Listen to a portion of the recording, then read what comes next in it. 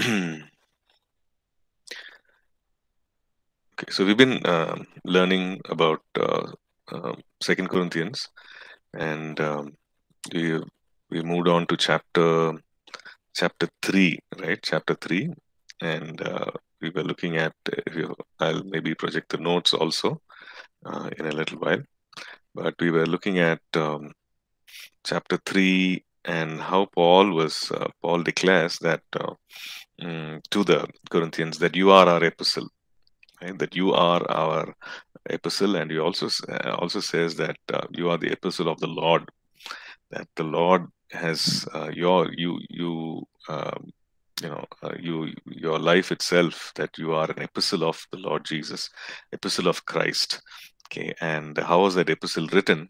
Uh, it is by the work of the Holy Spirit. So he's saying your life, your ministry, or your testimony, everything, it, it is actually a work of the Holy Spirit, right? And uh, and then we say he says that we have such trust towards God. We have such trust towards God, uh, and we are not sufficient of ourselves. You know, our sufficiency, which means our ability to uh, teach and minister and ability to do everything comes from God, right? Our sufficiency is from God. That is, we read in Second Corinthians three and verse five says, "Our sufficiency, you know, uh, our ability to do anything, comes from God." And uh, and also then then he goes on to say that in verse six, Second Corinthians three verse, that uh, this is who we are. The Lord has made us uh, able, or He has given us the ability uh, he has made us sufficient to be ministers, to be servants of the new covenant. Okay, not of the letter, but he has made us sufficient to be ministers of the new covenant. And what is the new covenant? It is that of the Spirit. It is not of the law, but of the Spirit. And he goes on to say what the, the old covenant does Okay, um, in the sense he says the letter kills, referring to the law, referring to um, the old covenant. That uh, the letter, the law, brings us under condemnation. It, it shows that we are sinful people. It shows what is right, what is morally wrong before God, um, and and therefore it points us points to the fact that we are uh, we are unrighteous right? We have not been able to live that pure and holy life before god that we are un- unrighteous. And it does not it, it, it, does not give us the ability to uh, to come out of it because we don't have the ability in ourselves right? It is only through christ. So which is what the new covenant does because by the power of the spirit we have life because of the cross, we have life. We have passed from death to life. So he says, you know, the, so we have been empowered to live for him. The empowerment of the Holy Spirit to live a holy life, uh, the empowerment of the Holy Spirit to live a transformed life for the sake of Christ. That has happened. So there's the the letter kills, but the Spirit gives life. That we saw in verse six. Okay, and and then he goes on to um, you know uh, uh, explain. And we, we also looked at romans chapter 7 and we saw you know why the letter kills right? And uh, why the spirit gives life. Okay. Now let's look at uh, um, from verse 7 onwards right? Where he contrasts between or makes a difference between the old covenant and the new covenant and and goes on to talk about um, the difference uh, between them. Okay, so uh, he goes on to talk about what the old covenant does, what the new, what the new, and he uses several uh, different terms to talk about uh, both. So, um, so let's look at that. Okay, uh, if you're following in the notes, and I'm just projecting it here, but uh, it's it's page 18, right? Okay, so from verse seven onwards. But if the ministry of death written and engraved on stones, was glorious. So the children of Israel could not look steadily at the face of Moses because of the glory of his countenance, which glory was passing away.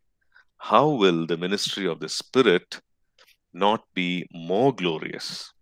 Okay, so let's look at that. He's saying, you know this um, old covenant uh, and uh, the the the law uh, that we that that that was before the cross it says the ministry of death okay written and engraved on stones.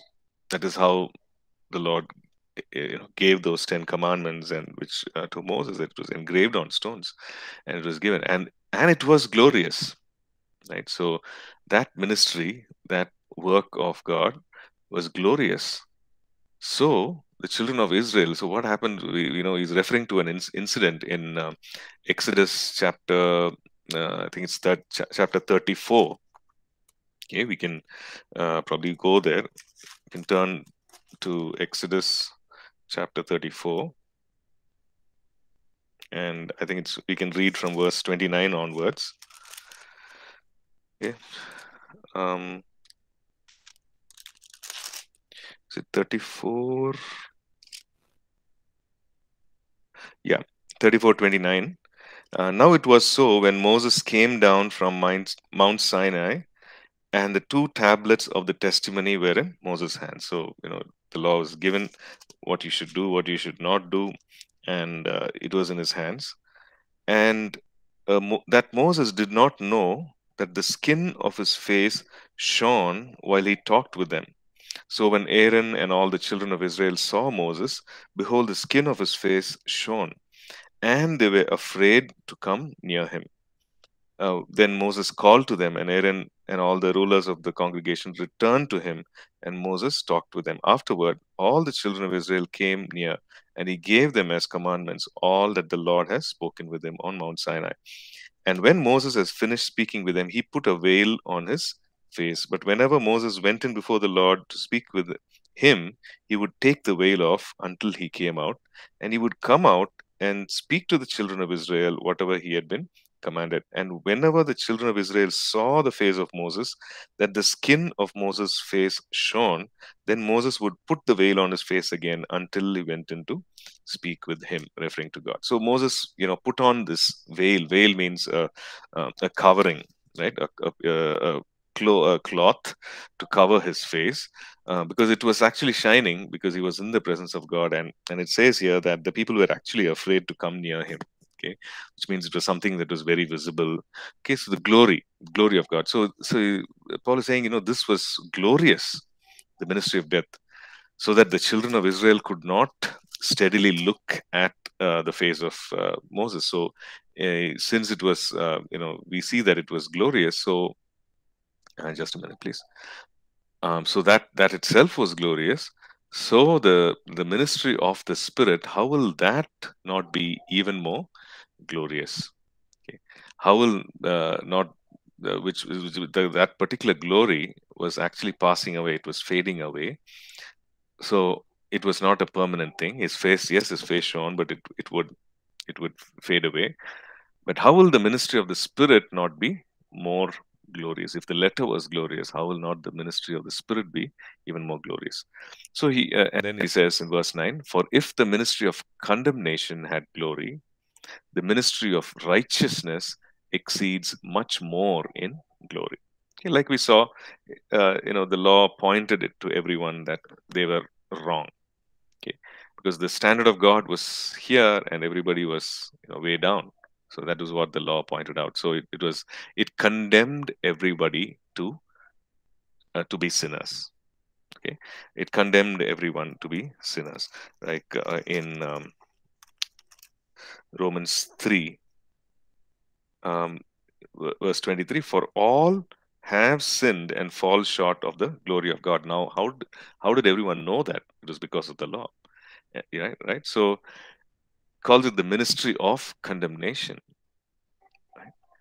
Um, verse 24, Romans 3, verse 24, being justified freely by his grace through the redemption that is in Christ Jesus. So, uh, verse, uh, you know, if you look at verse 9 in um, uh, 2 Corinthians 3, says the ministry of righteousness exceeds much more in glory. Okay. For even what was made glorious had no glory in this respect because of the glory that excels. So he says there's no comparison because this is even more glorious. For if is what if what was passing away, what is passing away, was glorious, what remains is much more glorious. Verse 11.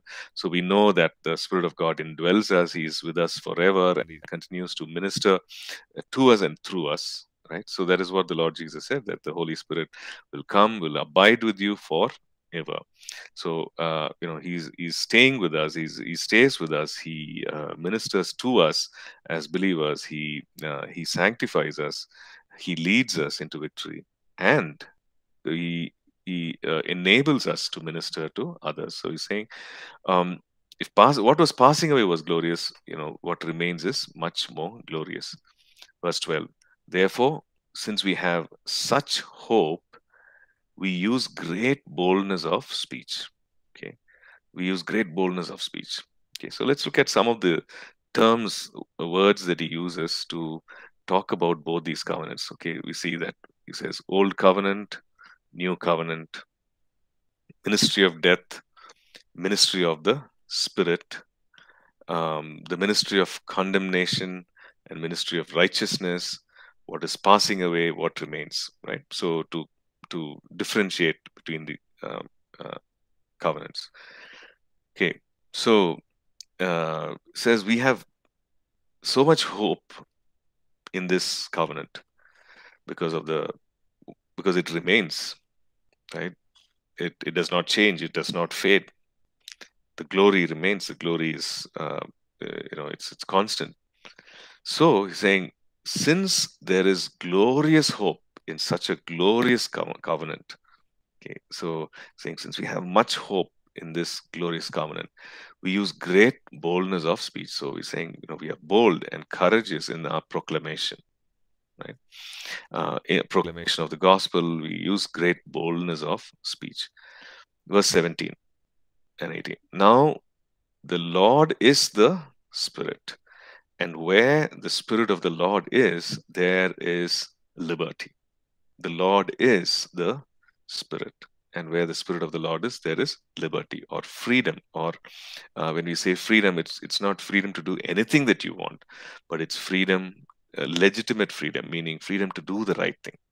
Right?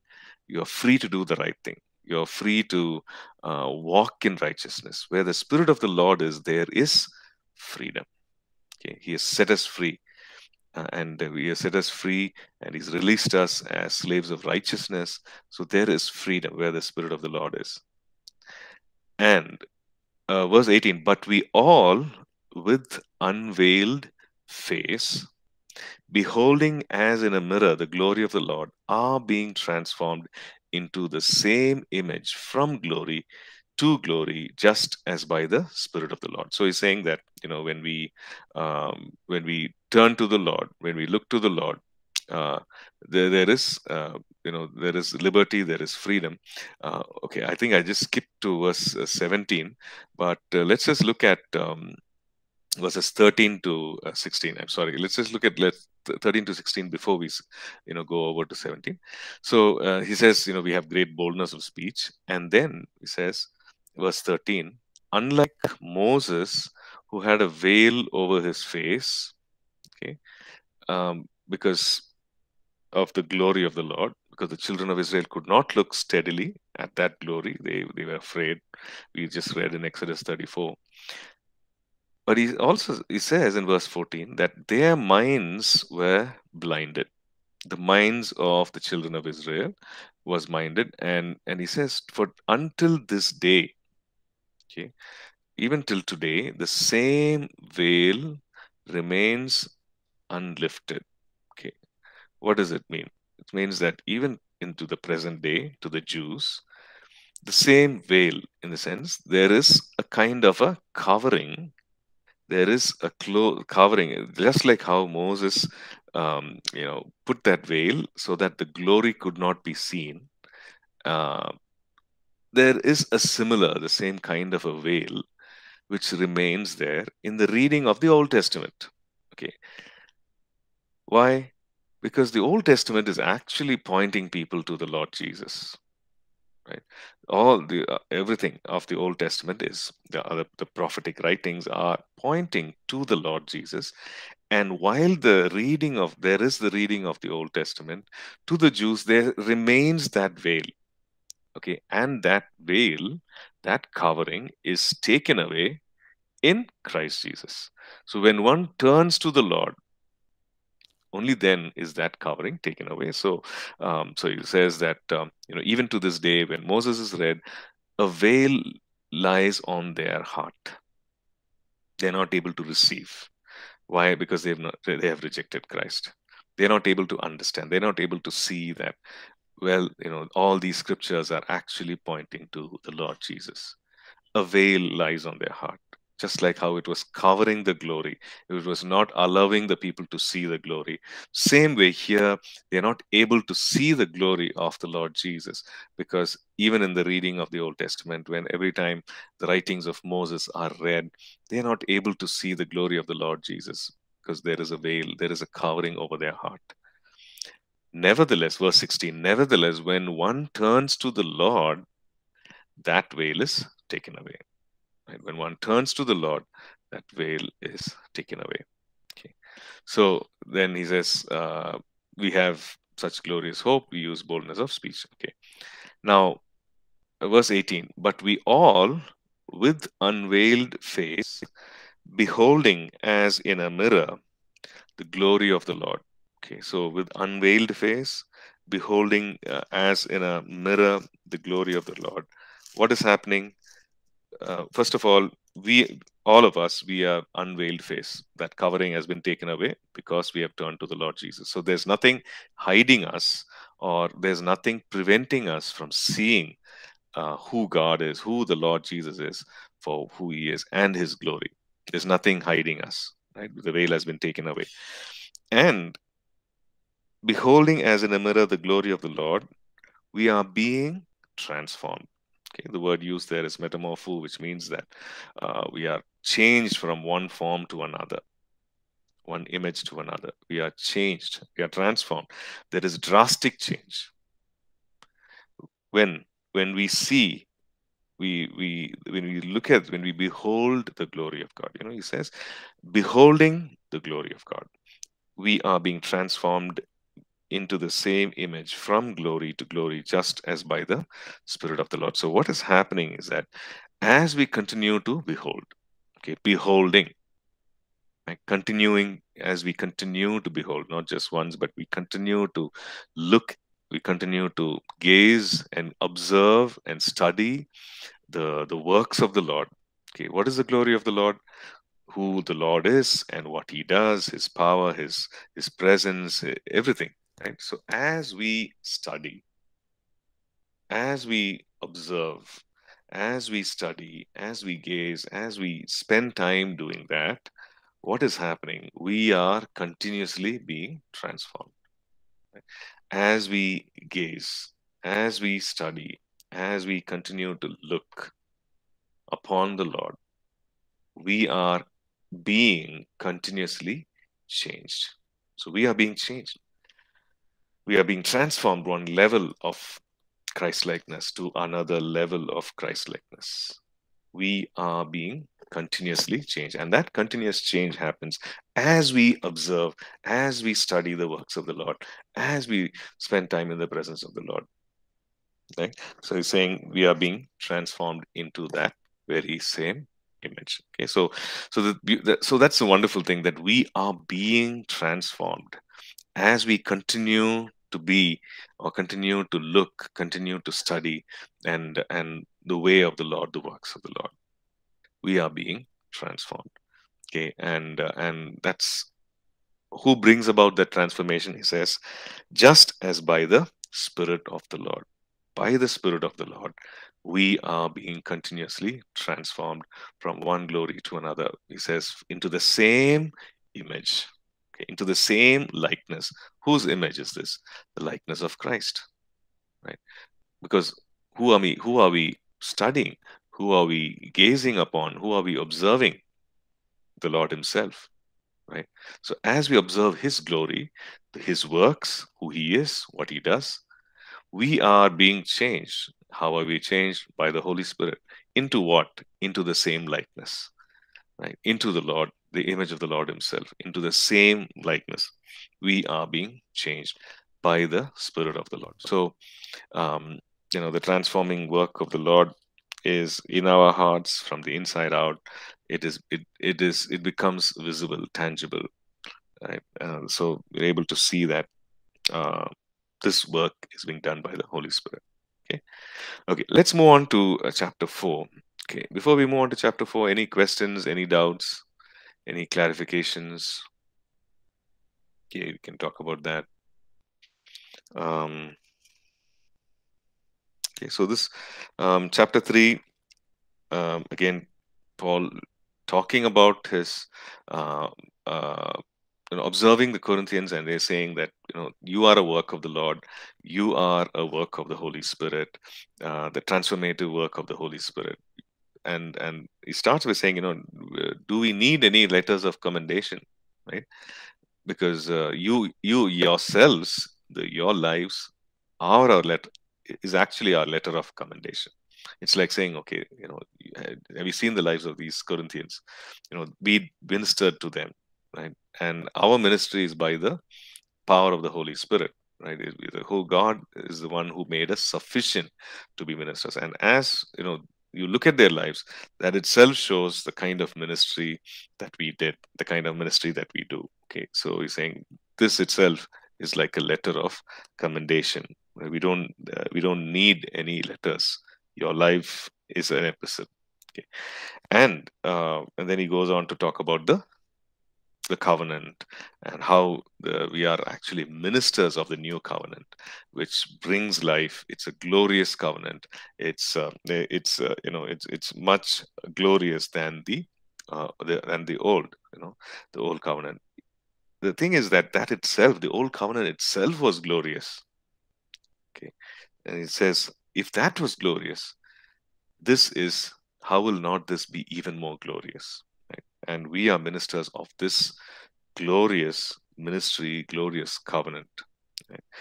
And um, in doing so, he talks about how Moses uh, used covered his face with a veil, and in order to, you know, stop that glory from, uh, sorry, in order to uh, cover that glory from being visible, because people were being afraid. People were afraid, and they didn't want to come near. So he had to literally cover uh, his face was shining and he had to literally cover his face.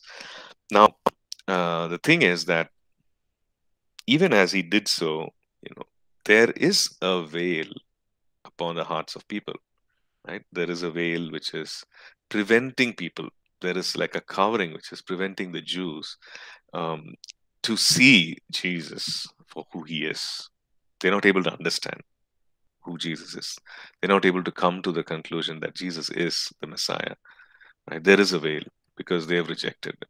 They have not turned to him. And that veil is taken away only when people turn to the Lord. So uh, so he's saying, but we with unveiled faces, because we've already turned to the Lord, you know, that veil has been taken away. We're seeing the glory of the Lord. So with as we see the glory of the Lord with unveiled face, beholding the glory as in a mirror the glory of the Lord. What happens when we see, you know, that beholding means to observe, to study, to keenly, uh, you know, uh, examine, to study. What happens? We are being transformed. Okay, so so that's chapter three, and then he, he also he, continues on in chapter four. Let's uh, let's look at chapter four. Okay, therefore, since we have this ministry, as we have received mercy, we do not lose heart. First, he said, we are bold, we are courageous, we have much hope. Since we have this hope, we, we, use great boldness of speech. Right? That's what he says here. He says, since we have this glorious ministry, this ministry of the Holy Spirit, led by the Holy Spirit, since we have this ministry, as we have received mercy, we do not lose heart. But we have renounced the hidden things of shame, not walking in craftiness, nor handling the word of God deceitfully, but by a manifestation of the truth, commending ourselves to every man's conscience in the sight of God. But even if our gospel is veiled, it is veiled to those who are perishing, whose minds the God of this age has blinded who do not believe, lest the light of the gospel of the glory of Christ, who is the image of God, should shine on them. For we do not preach ourselves, but Christ Jesus the Lord, and ourselves your bond servants for Jesus' sake. For it is the God who commanded light to shine out of darkness, who has shone in our hearts to give the light of the knowledge of the glory of God in the face of Jesus Christ. So let's let's look at each, each of these verses. So it says uh, in verse one, since we have this ministry, as we have received mercy, we do not lose heart. You know, we are we are not discouraged. Okay, uh, because he's going to talk about some discouraging things that happen. Okay, so he's saying, since we have this glorious ministry, since we are ministers of this new covenant, which is glorious, and we have the Holy Spirit, and we are with unveiled face, we are looking at the glory of the Lord, and we are being transformed into the image of Christ, right? Uh, even as we do that. So he says, since uh, we have this ministry, we do not lose heart. And, you know, as we have received mercy, we do not lose heart. Okay. But we have renounced. Renounce means to give up. Okay. To, to set us, uh, you know, to, to put away, put aside. So we have renounced. What have we renounced? The hidden things of shame, not walking in craftiness, nor handling the word of God deceitfully.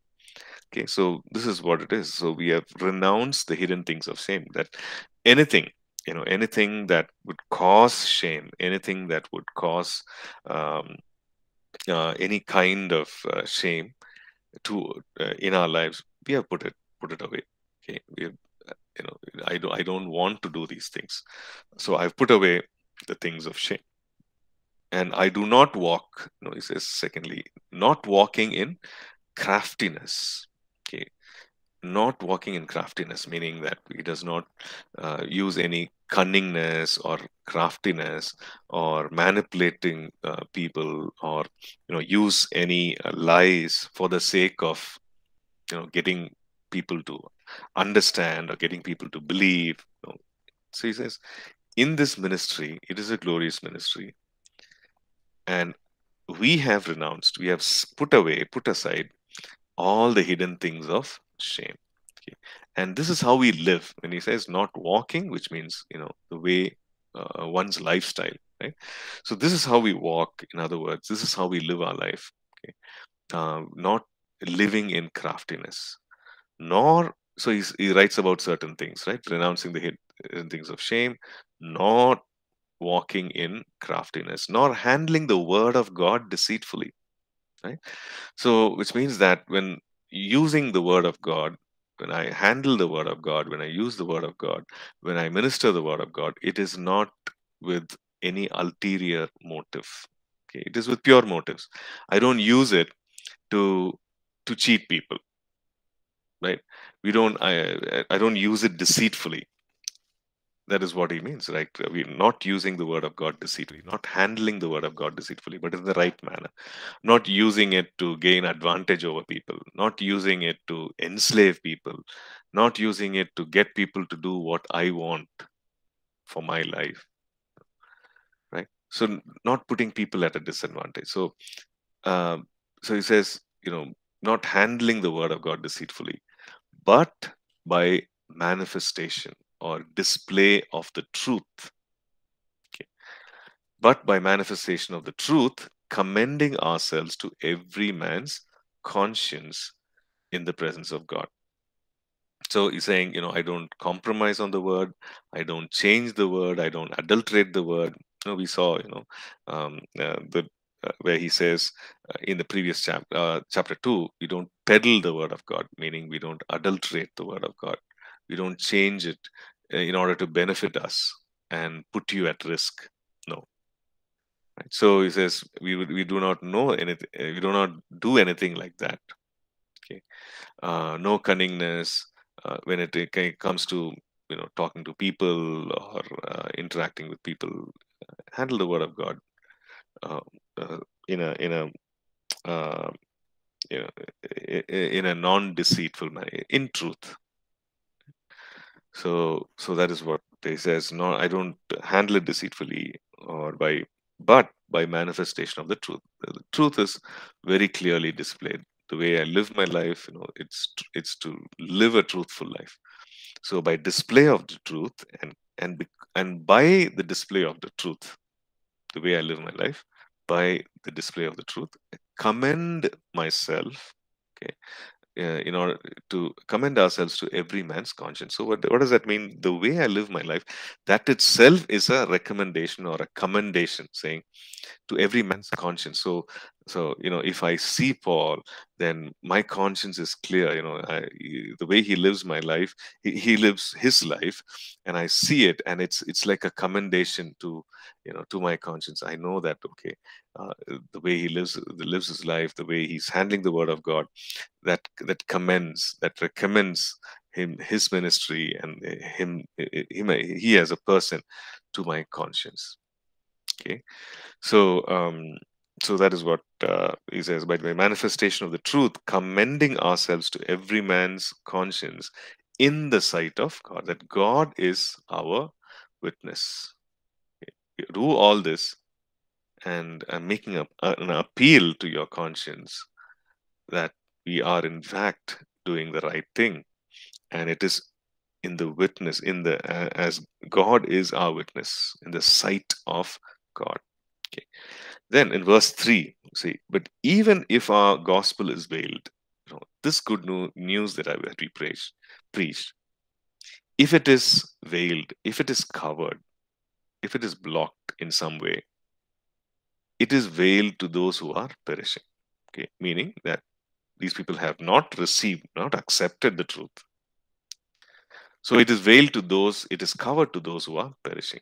Uh, and it, it also says in verse 4 whose minds that the God of this age has blinded. The God of this age, referring to Satan, referring to the powers of darkness. What has happened? Satan has blinded their minds. So you see, you know, normally what when we see use when we say blind, we talk about sight, right? Something that we see, not able to see. We say, okay, this person has blindness is, is blinded. So here you know the usage is that his minds have been blinded. Okay so what is it? The mind is not able to receive. The mind is not able to understand. Okay with our minds we think with our minds we reason with our minds we understand right? Now similar to how we see with our eyes and you know we have sight uh, because of our eyes when when our eyes are blinded we don't see that right? We're not able to the vision is either blurred it's it's something to do with the eyes we're not able to see clearly. In the same manner because satan has done something blinded the minds. So what is it? Their mind is not able to receive their mind is not able to comprehend understand and receive the truth okay? Lest the light of the gospel of uh, of Christ, who is the image of God, should shine on them, shine on them. Right. So this is what Satan has done. Satan does. Satan has imprisoned them. Actually, he's allowed them. He's not allowing them to see. Uh, minds have been blinded. For we do not preach ourselves, but Christ Jesus the Lord, and ourselves your bond servants for Jesus' sake. So he's saying we're not preaching about ourselves or about anything about us, but we preach about the Lord Jesus. And who are we? We are actually your servants. Or he uses the word bond servants, which means slaves.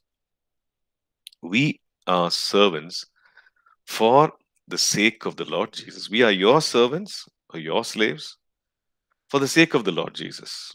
Right? For the sake, meaning for the sake of his, what he wants done right? for the sake of the ministry that he wants done, for the sake of the people whom he takes us to and asks us to serve. For his for that sake, we are even like slaves to serve you.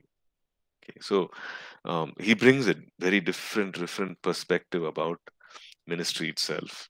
Right, he's saying we are your bond servants for the sake of the Lord Jesus. Okay. For it is God who commanded light to shine out of darkness, who has shone in our hearts to give the light of the knowledge of the glory of God in the face of Jesus Christ. So, what does it mean? That it means that uh, you know, yes, God has used us. He uh, uses us to proclaim, and uh, and He has actually commanded light. The one who commanded light to shine out of darkness, verse six. The one who created. Okay, let me just go down. The one who is the creator God. Okay. Now, this God, He has commanded light, the one who actually commanded light to shine out of darkness, he has shone in our hearts. He himself has done something in our hearts to give the light of the knowledge of the glory of God. So, saying this, this knowledge of the glory of God is light that takes away darkness, that dispels darkness. You know, when that light comes, then darkness leaves, right? So, this light, this knowledge of the glory of God is actually like light which shines in the dark. So, God actually commanded light to shine out of darkness. In creation, we see that. The same God who commanded light to shine out of darkness is shining this light in our hearts to take away the darkness.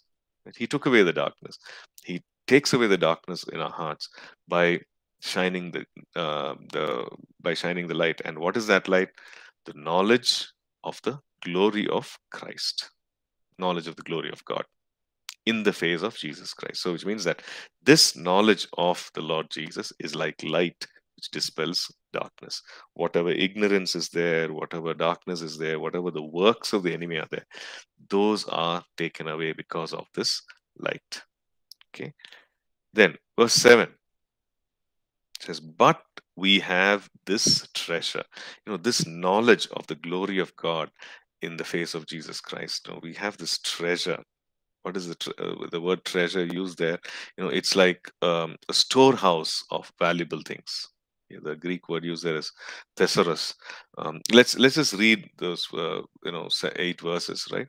But we have this treasure in earthen vessels, that the excellence of the power may be of God and not of us. We are hard pressed on every side, yet not crushed. We are perplexed, yet not in despair. But not in despair. Persecuted, but not forsaken. Struck down, but not destroyed. Always carrying about in the body the dying of the Lord Jesus, that the life of Christ may also be manifested in our body. For we who live are always delivered to death for Jesus' sake, that the life of Jesus also may be minister, manifested in our mortal flesh. So then, death is working in us, but life in you. And since we have the same spirit of faith, according to what is written, I believed and therefore I spoke, we also believe and therefore speak knowing that he who raised up the Lord Jesus will also raise us up with Jesus and will present us with you. For all things are for your sakes, that grace, having spread through the many, may cause thanksgiving to abound to the glory of God. Okay, so let's look at verse 7. It says, but we have this treasure. Now, what is that treasure that he's referring to? You know this uh, uh, this storehouse of valuable things. What is it? It's the it's the knowledge of the glory of god in the face of jesus christ meaning uh, the glory of the lord the un, the knowledge of the ways the will the uh, the desires the plans whatever you know that pertains to the lord jesus now that is like treasure and the Greek word used there, thesaurus, meaning a deposit, a wealth, a collection of treasure. But we have this treasure in earthen vessels. Uh, is again reminding the reader that you know we are we have been created out of the earth, right? Uh, that's how God fashioned man. Genesis account. We have been created out of the earth. So we ha- we carry it in earthen vessels. Earthen vessels also meaning that you know it's not uh, this is fragile it's bound to break right it's uh, it's not long lasting there is a time when it will it will just crumble and uh, this is what the container the container is like this. It's an earthly fragile container. So we are like this. So we cannot boast about things of the earth or our physical ability or our ac- accomplishments or anything because it is just a container. Our body is just a container. What we do in the natural the physical it's it's it's of the earth. Okay. and why did he do that? Why did he do it specifically? So that the excellence of the power may be of god okay? So that the excellence of the power the power of god you know he's again coming back to that uh, in 1 corinthians also you know if you remember 1 corinthians chapter 1 he uh, talks about how um, he wants them to put their faith in the power of god and not in the wisdom of man. He wants them he wants the corinthian church he wants the believer to be acquainted right, to have uh, a knowledge of an understanding of and faith in the power of god and not in the wisdom of man. So here also he's saying you know uh, it's the excellence of the power is is of god meaning he's the source of that. And it's not us because we carry this knowledge we carry his presence we carry his power and all that is in the earthly vessel uh, we carry it uh, it's a it's an it's a treasure that we carry in earthen vessels okay? Um, so that the glory the power of god uh, may be displayed and so that ourselves you know it is not our, of our power our ability. The excellence of the power is actually of god. He is the source okay?